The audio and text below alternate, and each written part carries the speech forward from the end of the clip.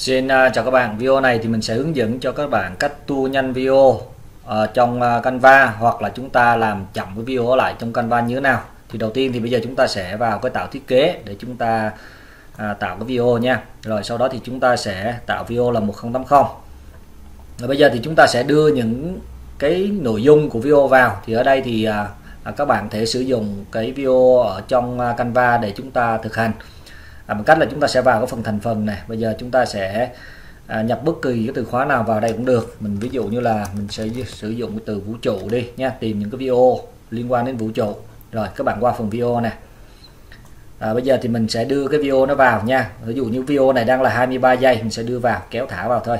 Rồi à, thời lượng video này đang là 22 giây thì tùy à, vào cái nội dung trong video mà chúng ta thể điều chỉnh lại nha. Bây giờ thì mình sẽ à, chia làm hai đoạn nè chia làm hai đoạn mình sẽ tách nó ra nha. Các bạn cứ nhấp phải nè các bạn sẽ chọn cái phần tách trang này. Đây. Rồi một bên là mình sẽ cho tu nhanh và một bên là mình làm uh, tu chậm để cho các bạn uh, theo dõi. Thì video này đang là 10 giây thì chúng ta sẽ chọn vào cái video mà chúng ta muốn uh, tu nhanh hoặc là tu chậm nha. Và chúng ta sẽ chọn vào video. Sau đó thì cứ chúng ta sẽ vào ở phần có nội dung là phát lại nha phát lại đây. Rồi.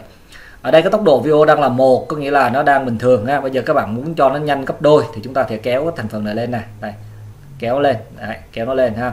Hoặc là các bạn có thể đánh số trong này. Ví dụ mình muốn cho nó tăng gấp đôi chẳng hạn.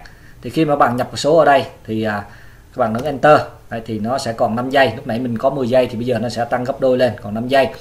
Rồi ở cái trường hợp ngược lại nếu các bạn muốn tua chậm video thì sao? Thì chúng ta sẽ nhấp vào đây ha. Và chúng ta cũng vào phần là phát lại nè. Rồi tốc độ video đang là một thì chúng ta sẽ là giảm lại. Bằng cách là chúng ta sẽ kéo là mình sẽ giảm về còn 0.5 chẳng hạn. Đấy, thì cái thời gian video nó sẽ dài ra các bạn thấy ha?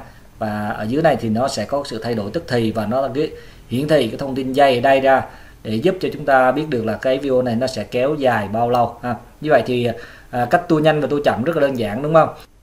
Như vậy là mình vừa hướng dẫn xong cho các bạn cách tua nhanh và tua chậm video trong Canva. Và hẹn gặp lại các bạn trong những chia sẻ tiếp theo liên quan đến phần à, mềm Canva này. À, xin chào các bạn.